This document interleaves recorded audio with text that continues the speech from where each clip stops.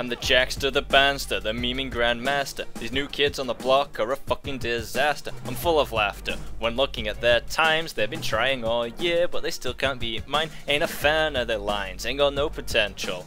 Learning A-Tech before it's essential, like, hee hee, that's gay, starfren XD. Wait to piss off the whole community.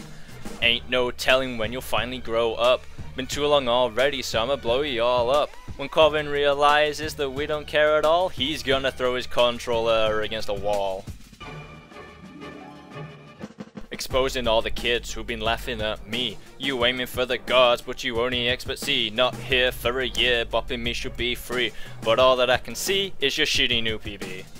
But at least it's not ACT, you can only blame yourself, cause there's no RNG, it's your fault and you know. Your MTs are slow, quitting quicker than Roush when he's down 4 and 0. Gotta say, Hughey, where the hell you been?